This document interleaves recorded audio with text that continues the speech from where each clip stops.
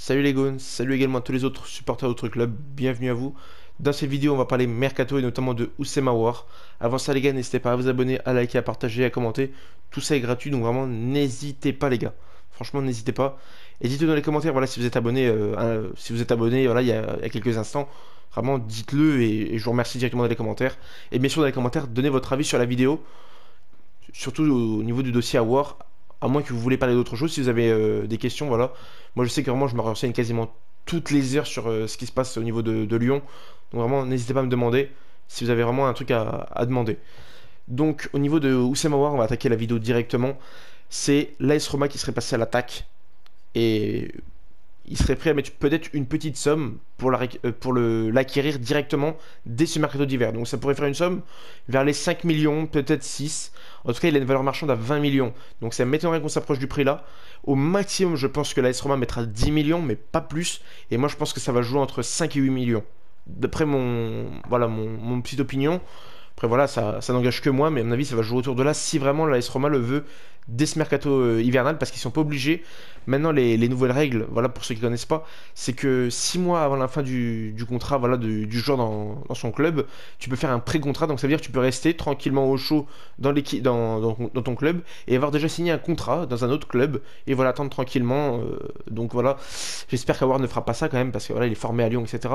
Si tu peux partir et, donner une, somme à ton joueur, euh, à ton club, pardon, ça peut toujours être cool rends quand même service à celui qui t'a formé, qui t'a donné ta chance en pro, etc. Même si voilà, depuis deux ans et demi, tu touches quasiment plus terre et que t'es es un peu perdu, donc je sais pas, peut-être qu'il te faut un nouveau challenge. Mais au moins, remercie le club qui t'a fait naître, parce que voilà, si Lyon n'était pas là, je sais pas où tu jouerais. Voilà, c'est pas méchant ce que je dis, mais dans quel club il on ne sait pas. Donc, Lyon t'a donné ta chance. Voilà, t'as fait des gros matchs. Là, t'es un peu en, difficulté. Donc voilà, si l'AS Roma juge qu'ils peuvent te sortir un peu de la mouise, eh ben donne quand même un petit billet à ton club formateur, c'est vraiment, ça pourrait vraiment être cool quand même. Et vraiment n'importe quel billet est bon à prendre. Moi je vous le dis, si c'est 3 millions, je prends 4, 5, 6. Voilà. Faut toujours prendre l'argent euh, quand même d'un joueur formé au club, c'est vraiment bien. Parce que quand tu as des joueurs formés au club qui te rapportent rien, bah, c'est un peu dommage. Parce que tu le formes pendant, je sais pas moi, 10 ans, 8 ans, 5 ans.